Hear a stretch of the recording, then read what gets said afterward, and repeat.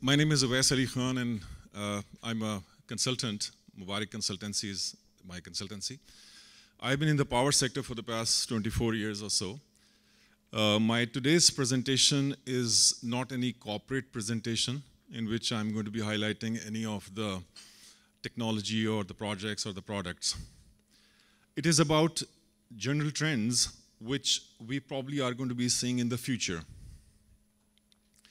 I have done a little research and I have got all the statistics from quite credible resources, Bloomberg, International Energy Agency, Deloitte, BP, and other such sources.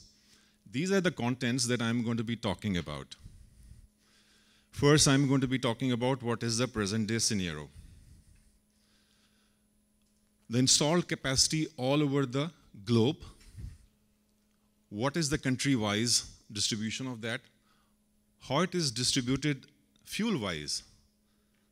Then I'm going to be talking about the trends, the prevailing trends, and the region-wise trends. Region-wise mean developing and develop, underdeveloped countries trends. And then the future outlook, supply-wise, how the utilities like SEWA are going to be supplying the electricity and demand-wise, as a consumer, how we are going to be consuming it, and how would the energy future look like? That's also a question for all of us to answer. This is the installed capacity in 2016.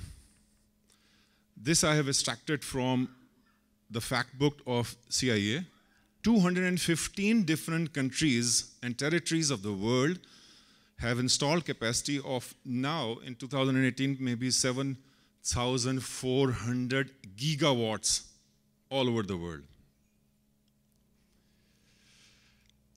Top 10, 10 countries have installed capacity of 71%. Top 20 countries of the world have 82% of the all installed capacity all across the globe. Bottom 100 countries and territories have installed capacity of less than 1%.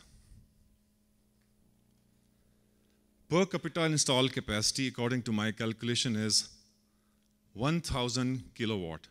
This means that the installed capacity per person on the face of the planet is equivalent to 100 watt of bulb, which is going to be consuming electricity for 10 hours only.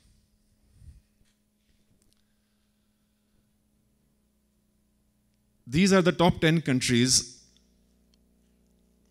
which are consuming, which have installed capacity of more than 71% all over the globe.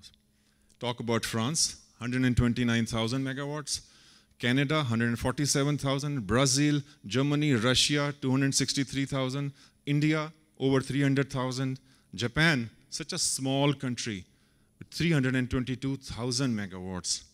European Union, United States, well over 1 million. And China, 1.6 million megawatt installed capacity. These 10 countries have installed capacity of over 71% of the total global installed capacity.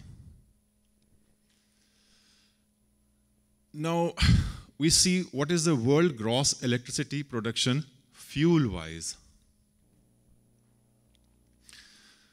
Coal still is the most consumable product for fossil fuel, 38%. Natural gas, 23%. Nuclear is less than, hydro is 17. Renewable, although we are talking renewable, renewable, it's still 6% of the total installed capacity oil and biofuel are pretty low. Fossil fuel is still the predominant energy source for producing electricity. Two-thirds of the electricity is having installed capacity of fossil fuel burning. Renewable is 23%.